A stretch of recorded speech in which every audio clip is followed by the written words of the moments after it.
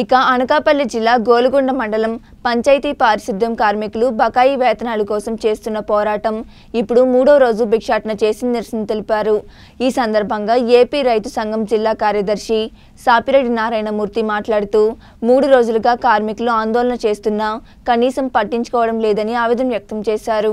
జీతాలు ఇవ్వక కార్మికులు గ్రామాల్లో పారిశుద్ధ పనులు నిలిచిపోయి ప్రజలు తీవ్ర ఇబ్బందులు పడుతున్నా ఏపీడీఓ ఈఓఆర్డీ పట్టించుకోకపోవడం చాలా అన్యాయమన్నారు. ఈ కార్యక్రమంలో ఏపీ పంచాయతీ ఎంప్లాయీస్ వర్కర్స్కి ప్రభుత్వం వేతనాలు లేక కొట్టు కొట్టుకి బిచ్చం తీసుకునే పరిస్థితి వచ్చిందని అన్నారు. ఇప్పటికైనా ప్రభుత్వం స్పందించి పారిశుద్ధ కార్మికులకు వేతనాలు పెంచాలని డిమాండ్ చేశారు.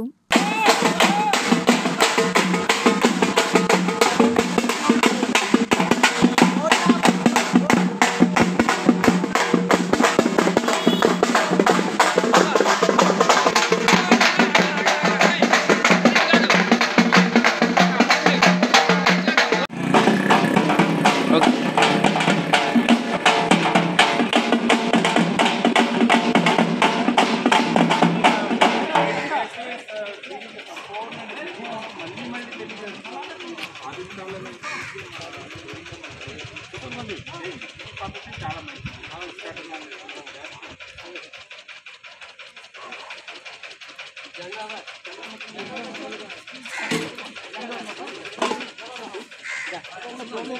నువ్వు ఎక్కడి